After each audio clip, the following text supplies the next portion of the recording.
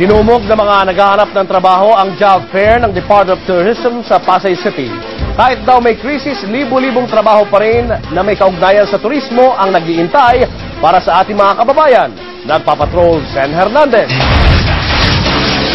Napakahaba ng pila ng mga aplikante sa job fair ng Department of Tourism sa Pasay kanina. Karamihan bagong graduate. Ang iba, tila bihasa sa mga job fair. Tulad ni Brian na nag-apply na rin sa Jobapalooza, ang pinakamalaking job fair ng gobyerno. Pero di siya pinalad.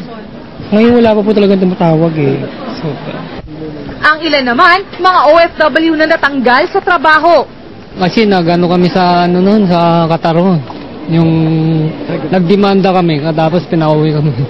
Ayon sa Department of Tourism, may pag-asa ang mga job seekers sa mga trabahong pang-turismo dahil tuloy-tuloy pa rin ang pasok ng investments dito kahit may krisis. mas broad yung international market ng Pilipinas sa ngayon.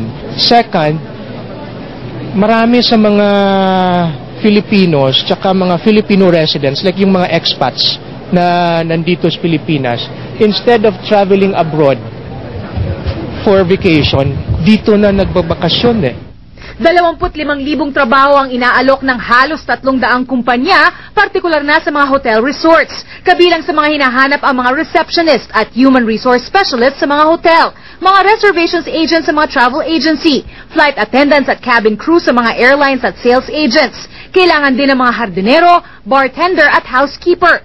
Hindi naman daw mahirap makakuha ng trabaho dito. Kailangan lang may pleasing personality at mahusay ang communication skills.